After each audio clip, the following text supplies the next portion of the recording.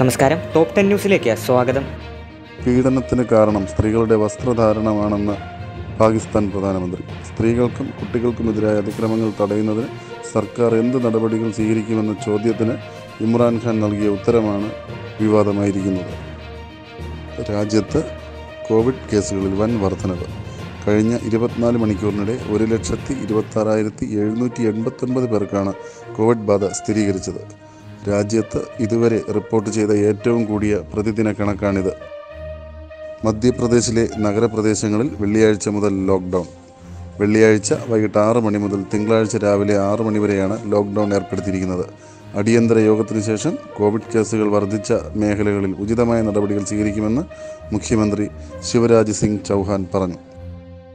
കട്ടപ്പനയിൽ വയോധിക വീട്ടിനുള്ളിൽ മരിച്ച നിലയിൽ കട്ടപ്പന സ്വദേശി ജോർജിന്റെ ഭാര്യ ചിന്നമ്മയാണ് മരിച്ചത്. ഇവരുടെ ശരീരത്തിലുണ്ടായിരുന്ന മാല വള മോതിരം എന്നിവ നഷ്ടപ്പെട്ടിട്ടുണ്ട്.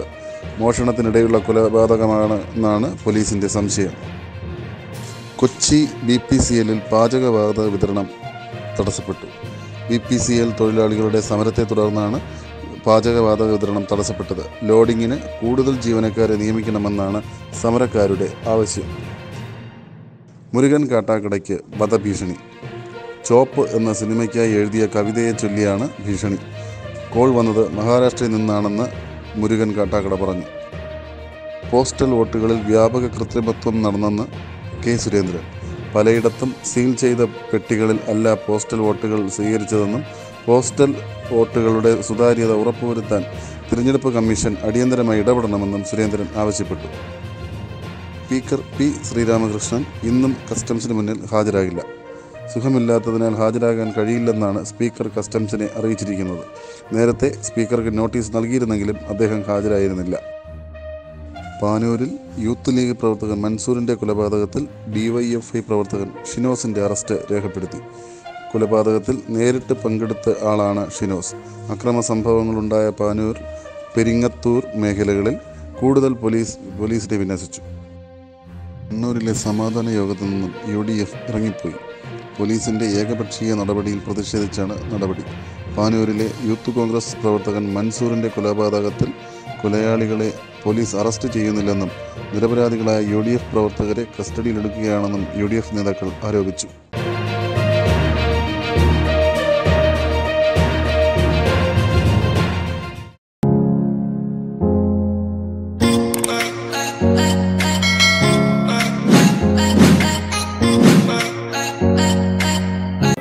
ആറിന് പുലർച്ചെ ഒന്ന് എട്ടിന് സംഭവിക്കുന്ന വ്യാഴമാറ്റം കോവിഡ് മഹാമാരിയുടെ ദുരിത തീവ്രത കുറയ്ക്കും.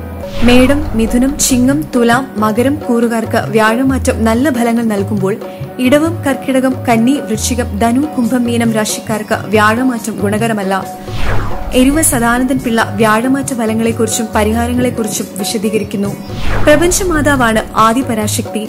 ത്രിമൂർത്തികൾക്ക് പോലും ശക്തിയേകുന്ന ആദിപരാശക്തിയെ പൂജിച്ചാൽ നമ്മുടെ ജീവിതത്തിലെ എല്ലാ സങ്കടങ്ങളും അകന്നുപോകും അതിനുള്ള ചിട്ടയും ക്രമങ്ങളും പുതുമന മഹേശ്വരൻ നമ്പൂതിരി മീനം ലക്കം മുഹൂർത്തത്തിൽ വിശദീകരിക്കുന്നു.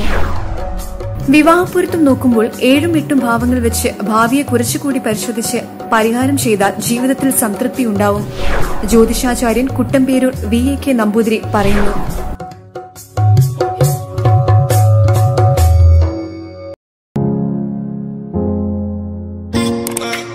I